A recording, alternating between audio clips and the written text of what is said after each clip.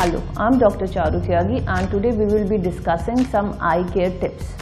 It is very important that we take care of these beautiful eyes because with them we see the world and 85% of our learning is dependent on our eyes. First thing and most important thing is that eyes were made by God and do not require any treatment or medication unless advised by a proper qualified doctor. Second, I would like patients to know that there are some things which are not meant for eyes like kajal, surma, any eye makeup which goes inside the eye over a period of time will cause chronic inflammation, irritation, infections and is not healthy for your eyes.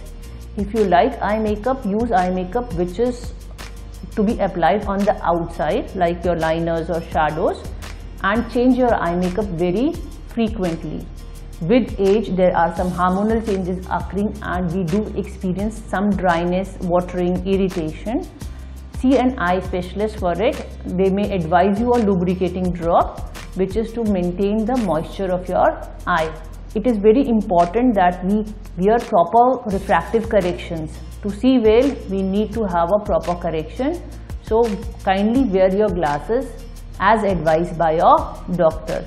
Patients who use contact lenses should be aware that if they have a monthly disposable, it should be used uh, for a month only.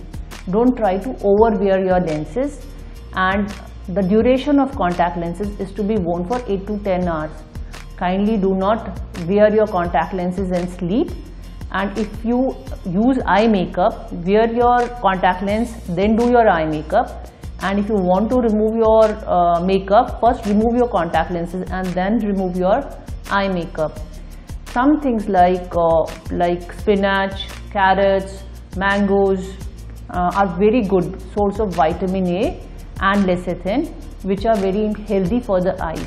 So improve the dietary intake of these things so that the eye health can be maintained Hydration is also very important. A good amount of hydration is required.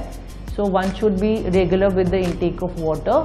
Proper exercise is very important because only a healthy body will have a healthy eye. A regular eye checkup is important because that way your doctors can help you to maintain the health of your eye.